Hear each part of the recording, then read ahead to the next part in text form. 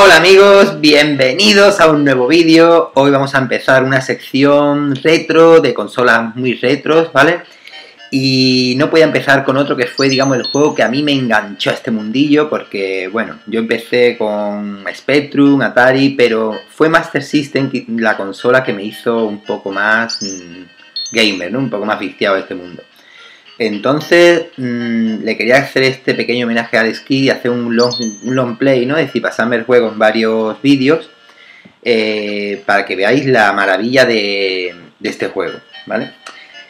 Entonces, nada, creo que podía ir explicando mientras juego, ¿no? Al Skin Miracle World, pues, juego de 1986, de Sega. Mmm, yo siempre defenderé que Alex debía haber sido la mascota oficial de, de Sega, sin despreciar, por supuesto, a, Sonic.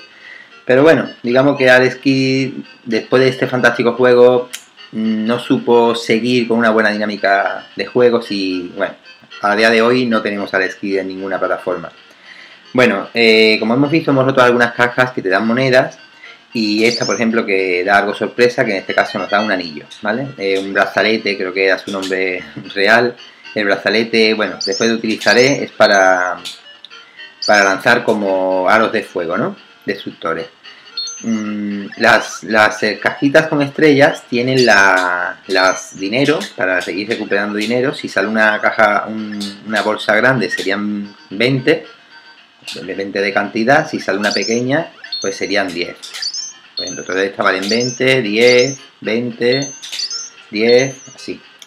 Eh, esto es una caja, igual que la de arriba nos ha dado brazalete, esto es una caja sorpresa que aquí va a salir un fantasma que nos perseguiría.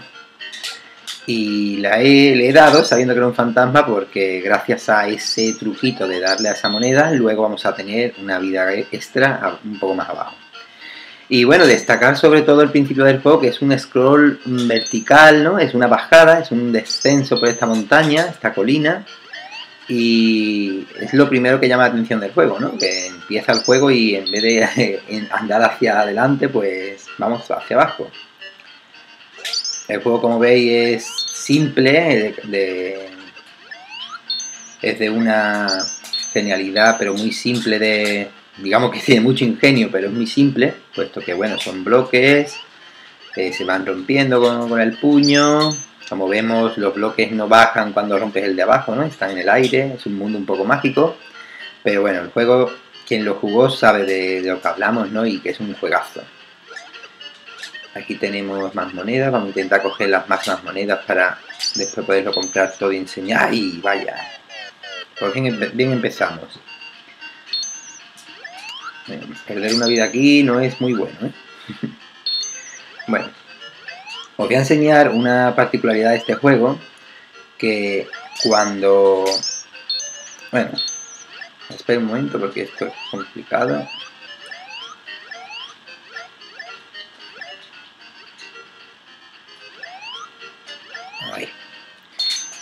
Eh, tenemos una particularidad que, bueno, mmm, este eh, Master System con sus dos botones tenemos un botón para puñetazo y otro para salto. Y ya la cruceta eh, subir, bajar, izquierda y derecha pero con el botón pausa de la consola que está en el medio de la consola nos sale un menú eh, la pausa digamos es un menú donde tenemos aquí un poco mm, para ser una plataforma tenemos mucho de error ¿no?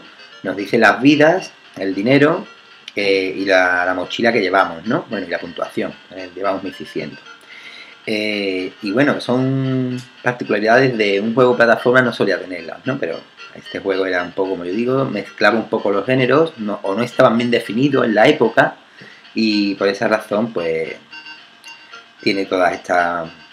No sé, por esa razón no, porque lo crearon así, ¿no? Pero quiero decir que le dieron un enfoque mmm, no clásico de, una, de un género, sino intentaron mezclar varios, varios géneros, ¿no? Bueno, seguimos, vamos a bajar al lago. Y bueno, aquí como hemos dicho, voy a intentar... Bueno, ahí no vamos a arriesgarnos porque podemos perder otra vida. Aquí en el agua, si pulsamos el botón de salto, pues vamos más rápido, ¿vale? Es una forma de nadar o de bucear más rápido. Muy bien. Vamos a intentar...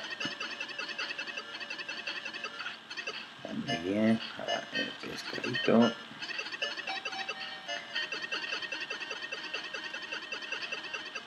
La música también era muy acompañada muy bien al juego. Y bueno, aquí como estoy jugando una versión japonesa, eso sí, traducida al español, he encontrado esta run, me ha parecido muy interesante jugar a esta. Eh, vemos que aquí mm, sale como un, una, bola de arroz, ¿no? Muy típica de Japón.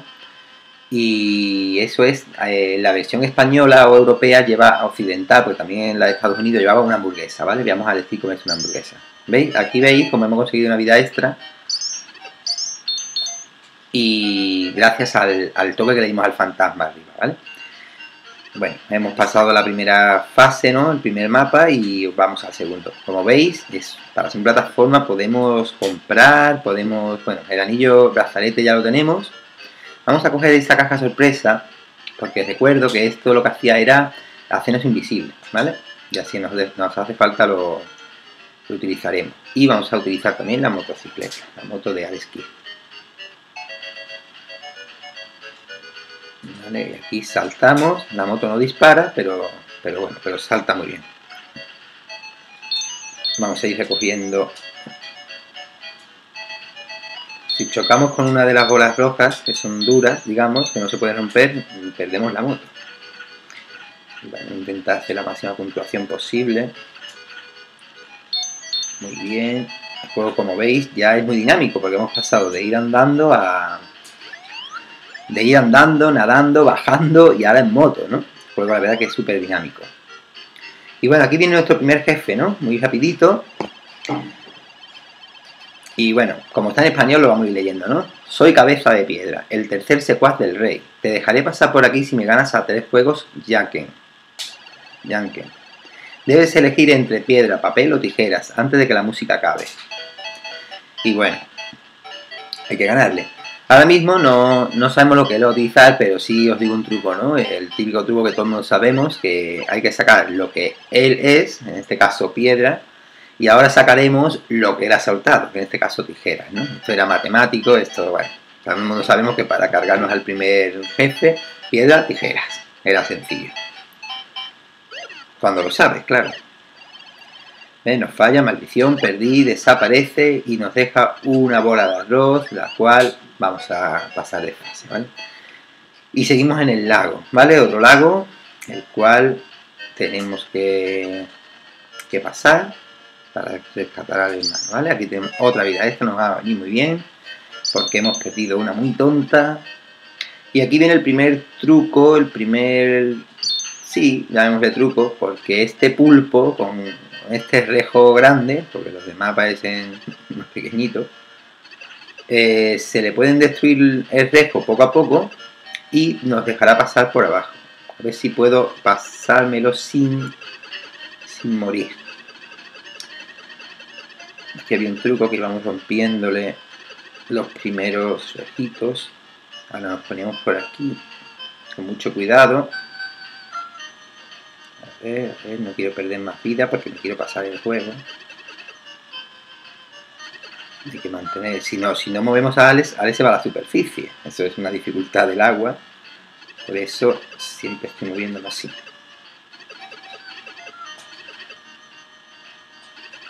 Muy bien, quedan cuatro. Hay que acercarse cada vez un poco más. Sin arriesgar demasiado.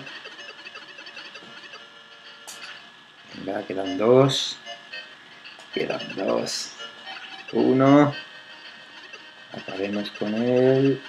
Un poquito más. Bien. Bueno, pues ahora en esta especie de como de jarra donde estaba el pulpo, nos vamos a, introducir. Y aquí descubrimos el primer truco que nos va a dar acceso a una fase donde podremos... Muy bien. Donde podemos conseguir mucho dinero. Mucho dinerito.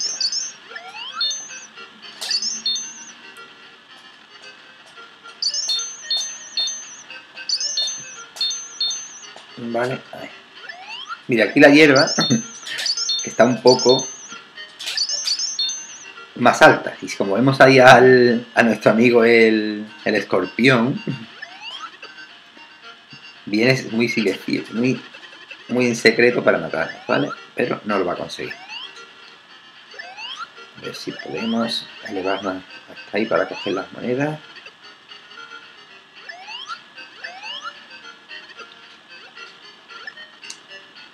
Ahí he perdido algunas, vaya. Un poco difícil el movimiento de...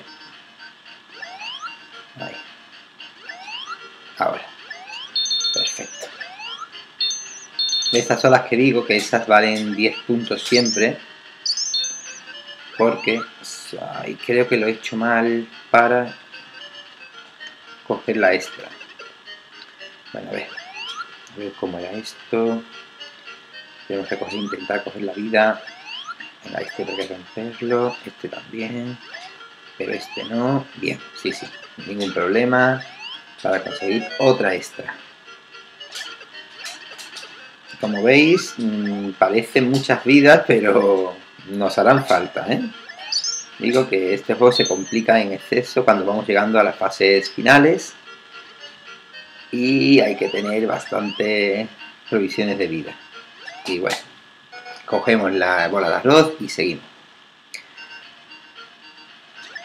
mira, aquí vamos a empezar, esta fase vamos a utilizar el, el brazalete, ¿vale? Para que veáis lo que hacía.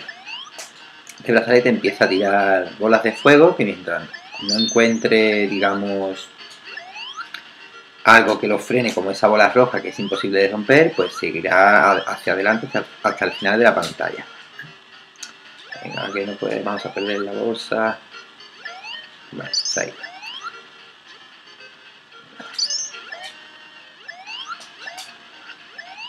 Vais a ver una curiosidad del juego, a ver si puedo enseñarosla. No sé si habéis fijado que nunca rompo más de tres cajitas de dinero a la vez. Y es por la razón de que cuando vas rompiendo cajitas de dinero, se van, van apareciendo las bolsas y si rompes tres, si rompes tres, mm, la primera, digamos, bolsa de dinero desaparece. No puede haber más de dos bolsas de dinero en pantalla, digamos, sacadas en... Mira, aquí lo vamos a ver claro. No, puede, no sé por qué este, no sé si llamarle error, pero por ejemplo, vamos a tirar aquí un, rayo, un disparo para ver y romperíamos las tres bolas azules más las tres cajas, ¿no? Pues mirar el efecto de la primera bolsa de dinero. Desaparece. Pero bueno, es curioso, ¿no? Que no deje de... Bueno, vamos a coger por ahí, vamos a tirar por aquí. Quería matar a eso y bueno, aquí nos habla un maestro y nos dice, bienvenido Alex, eres un príncipe del país de Raxian, que fue raptado por unos hombres malvados cuando eres un crío. Tu tierra nativa está siendo cruelmente gobernada por el tirano Yanken Grande. Yanken el Grande. Tu misión es salvar de, él a la población. Bueno, como veis, creo que gobernada con V es una traducción un poco... Bueno, pues como nos da el helicóptero y nos vamos. Me gustaba coger siempre la hamburguesa, en este caso la bola de un puñetazo. Bueno, aquí empezamos, aquí tenemos el botón de salto, da pedales, y digamos el hidrohelicóptero, como se quiera llamar, eh, también dispara. Si chocamos, digamos, desde la parte de arriba, si nos da, nos da algo, eh, caeremos al mar y tendremos que seguir la fase bajo agua. ¿vale? Así que vamos a intentar no tropezarnos. Yo recuerdo yo tenía mucho vicio y no dejaba ninguna bolsa de dinero, la cogía todas, pero como llevo tanto tiempo sin jugar, no voy a arriesgar tanto, ¿vale? Y voy a solo coger las más fáciles para no perder el helicóptero. Aquí tenemos otro... Ah, por hablar, vaya. Es complicado, ¿eh? Es que es complicado. Vamos a coger esta bolsa, vamos a poner fácil. Muy bien, y bueno, ya estamos aquí. Y vamos a otra ladera, otro pueblo, donde encontramos una tienda. Y aquí podemos comprar una extra, un helicóptero que lo vamos a comprar y una A. Si no recuerdo mal, que no recuerdo mal, la A lo que hacía era donde la poníamos, empezaban a saltar Alex Kidd pequeñitos atacando a, a, lo, a lo que apareciera, ¿no? Si luego lo vamos a utilizar para que la veáis. Vamos a coger el A, vamos a coger la vida ya que tengo bastantes puntos y vamos a utilizar también el vamos a utilizar el el helicóptero, ¿vale? Porque aquí nos va a venir muy bien porque es una fase un poco complicada. Vamos a ir recogiendo todo el dinero para... Mira, si vemos ahí abajo ese personaje que se acaba de tirar al, al a la lava, porque eso, bueno, o al río contaminado, no sé exactamente qué era eso, pero sí es verdad que si cae ahí muere. Mira una cosa curiosa de los bloques. Dejábamos al, en el aire al pequeño escorpión. Son esos pequeños bugs, ¿no? De los juegos de esta época, ¿no? Que, bueno, quizá no se tenían tanto en cuenta o no había forma de, hacer algo por él, ¿no? Por ese fallo. Había una dinámica y bueno, había que, había que utilizarla. Este, este personaje que acabo de matar, creo que hace un cameo o hace algo en el juego de Teddy Boy. Si alguna vez hago una entrega de una serie de Teddy Boy, otro juegazo de la Master System, vamos a ver cómo ese personaje aparece, si no recuerdo mal. ahora mismo no estoy completamente seguro. Vale, aquí vamos a coger todo el dinero posible. Vamos a ver qué nos salía aquí. Una gratis, hay que cogerla, hay que cogerla. Muy bien. Otra extra. Y venga, vamos a intentar. Vamos a intentar pasar toda la fase en helicóptero porque podemos ganar mucho más dinero que bueno, ya aquí, aquí acaba. Hubiera sido mucho más difícil, ¿vale? Si no tenemos helicóptero. Si podemos bajar aquí y cargarnos a estos tres diablitos. Llamémosle diablito porque no sé exactamente lo que es. Y aquí ya, pues bueno, hay que perder el helicóptero para poder pasar. Y aquí tenemos otro jefe que es, en este caso, es un es un toro, parece un cerdito, no sé. Y mira, vamos a utilizar esta, mm, esto que hemos comprado, que es la A, para que veáis lo que hacía. Empezaba a lanzar pequeños al esquí. No, pues no hemos podido cargarlo entero, pero seguiremos. Vaya, no puede ser, no puede ser. No puedo perder una vida aquí, yo en el torito. Bueno, jefe fácil, pero me ha dado, ¿eh? Qué pena, joder. Uy, perdón. Bueno, ahora sí. Y otro maestro, otro del pueblo nos dice, Príncipe Alex de Radaxian. Se te ve bastante bien, de verdad. Se dice que tu hermano mayor está preso en el castillo de Radaxian y que tú eres el único que puedes ir a, puedes ir a rescatarle. A su rescate. Pues nada, vamos a su rescate, ¿no? Allá vamos. Y bueno, vamos a dejar en el volcán, vamos a dejar este primer episodio, esta primera parte de, este juego, en el cual espero que os esté gustando, supongo que lo conocéis, sé que hay mucho gameplay de este juego, pero yo quería hacer el mío porque me resulta para mí, creo que fue el juego donde hubo un punto de inflexión en mi vida en este, en este campo y donde dije, me encantan los videojuegos, ¿no? Así que bueno, yo voy a seguir haciendo la serie y espero que si os, haga, si os guste, pues sigáis viéndola, hagáis like y se, os suscribáis si, si queréis, vamos, si os parece buen contenido. Así que nada, un abrazo a todos, mucha salud y hasta el siguiente vídeo.